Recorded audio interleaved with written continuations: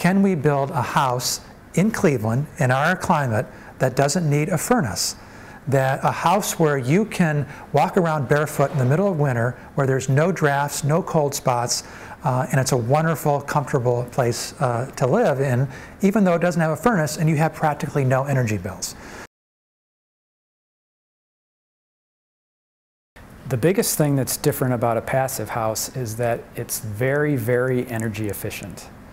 Um, that's, the, that's the part about passive house that really distinguishes it from any other type of building is it's all about energy efficiency. Passive houses, because they are so energy efficient, they're also extremely durable. You don't have any condensation issues in passive houses. You don't have drafts you can stand next to a, a, big picture window on a cold winter day and not feel cold. The surface temperature of the windows won't be much different from any of the other surfaces in the room. It won't be cold like it is in a typical house. So these houses are very comfortable. You don't have stratification where you have warm air at the top of the room near the ceiling and cold air down at your feet. Um, these houses are very quiet and very comfortable. It really is, is simply a thermal and air barrier skin built around an open structural shell inside. Um, adding to that, we have some very sophisticated uh, ventilation uh, type equipment and heat recovery type equipment to put in. Um, that works at a very low level of uh, energy use and does all we need to provide the little bit of heating, heating, cooling, and ventilation that is necessary inside that envelope that we create. There's, an, there's probably three key aspects of passive house that distinguish it from more typical housing. One is super insulation. There are very, very high levels of insulation in passive houses. The second aspect is they are very airtight. You have very little air leakage in a, in a passive house. And the third is passive houses use ultra high performance windows. And so the combination of those three things are what get the energy use so low in a passive house for heating and cooling.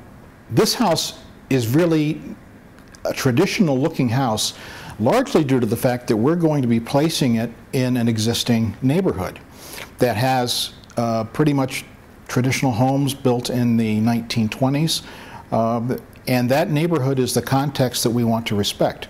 So you'll see a lot of the materials on this house are going to be similar to the adjacent houses. The roof lines are going to be similar to, similar to that.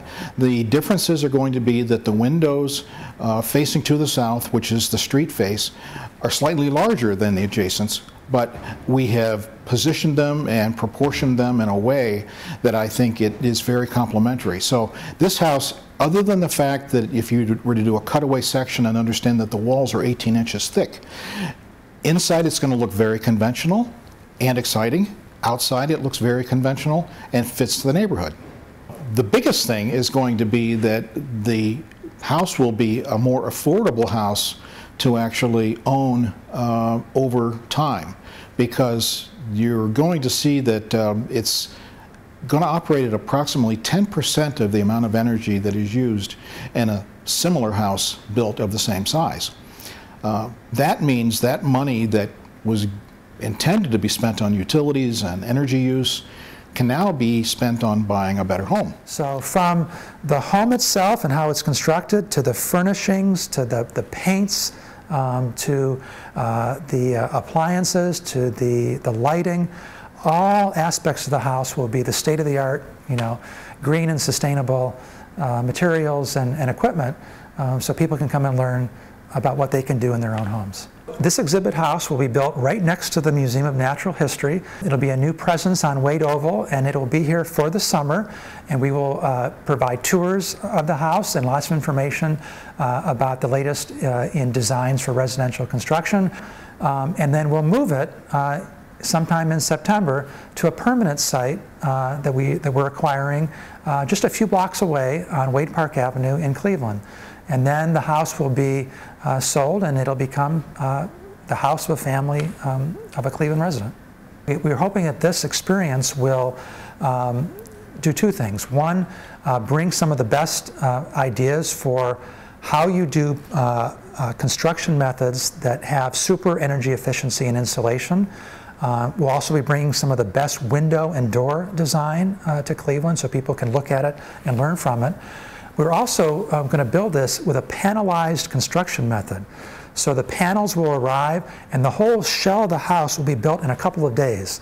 Um, so it's a new kind of, of, of factory-built panelized construction method um, that's also relatively new to the Cleveland market. Um, and so we hope that in the future there can be factories in Cleveland uh, building homes very efficiently, very economically in a factory setting where um, you can reduce waste, where you can, you're building things indoors out of the weather. There's a, a an assembly line, very efficient construction method, um, where we can be building these homes to, that can be not only very, very energy efficient, but also affordable, and also create a new industry and create jobs here in the Cleveland area.